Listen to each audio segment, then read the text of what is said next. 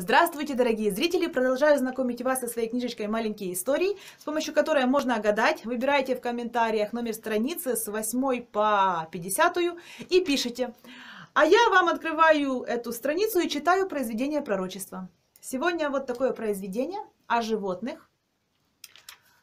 Вот, надеюсь, вам понравится. Медвежонок лежал тихо и безмятежно качался в колыбельной маминого сопения. Наконец, думал он, я родился. Родное дыхание прекратилось. «Мама!» — кричал он. «Мама, где ты, мама?» В слезах еще слепой медвежонок искал маму. Ее нет. «Мама, мне страшно!» — кричал он. И не зря. Вокруг уже ходили голодные волки. «Кто первым?» «Пойду я!» И вожак бросился на медвежонка.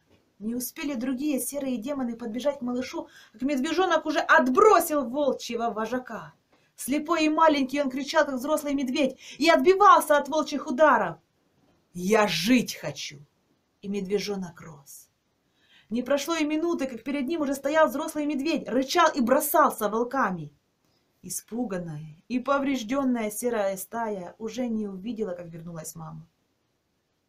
Но медвежонка уже не было был уже не медвежонок. Как вы думаете, кто был? Конечно же, был уже взрослый медведь. Он вырос. Иногда в нашей жизни бывают такие обстоятельства, что заставляют нас очень быстро расти и очень быстро становиться сильнее. Если вам нравятся мои произведения, подписывайтесь на канал, нажимайте на звоночек, ставьте этому видео пальчики вверх и до новых встреч!